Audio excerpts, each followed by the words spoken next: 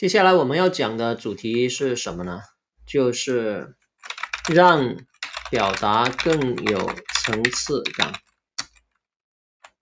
更加清晰和立体，更加清晰和立体，是吧？你看，它上面给我们说了一段话，是吧？什么推荐客户购买的理由啊？这是他为我们写的推荐语。但是呢，这是我跟他说的啊，我说。请将上面的这段话整理一下，层次结构和顺序，用第一、第二的方式罗列清楚，让观众看起来简洁易懂，是吧？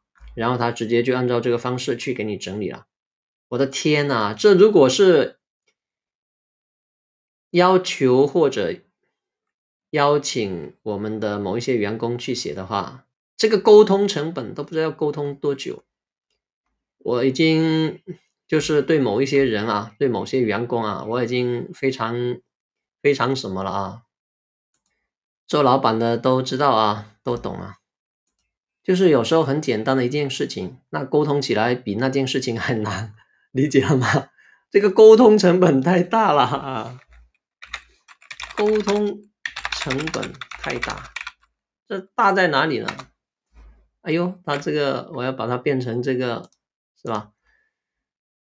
喂，啊，这样啊，我教你们一下啊，这个这个是飞书的一个文档啊，我们在创建这个的时候加个空格啊，这样它就会有一个顺序。因为沟通成本太大啊，跟某一些偷懒的员工啊，懒惰的某些员工，这沟通起来很费事啊，费事。所以呢，我为什么特别重视机器人啊？因为它沟通起来比较容易。我见识过太多员工了啊，他们喜欢用什么样的表达方式呢？啊，某些人喜欢的表达方式，这个我懂啊，对吧？你们当老板的应该经常听到这样的表达方式吧？你叫员工做一件什么事情，他就说这个我懂啊，或者这个我早就知道了。我的天呐，那你说，那你为什么不做啊？你说你知道，那你为什么不早点做呢？你为什么不把它落实呢？不把它完成呢？然后这个员工啊，或者说某些员工就说你，他要推到你身上来啊。他说你又没有叫我做，是吧？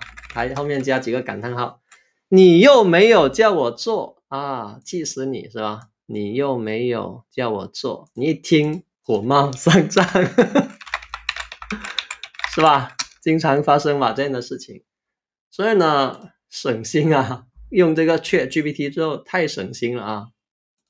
呃，说到这里呢，跟你们讲一个有趣的故事啊，啊，或者到下一节课再跟你们讲啊。这个是什么？我和那些文案的故事，我和那些文案人员的故事啊，人员，因为文案呢，它是一语双关的啊。它是有两个意思啊，这个下一节课我们再给大家讲。文案第一个意思，对吧？它是指文章，然后第二个意思，文案它又是指文案创作人员，对吧？等我们等一下再讲啊，下一节课再讲。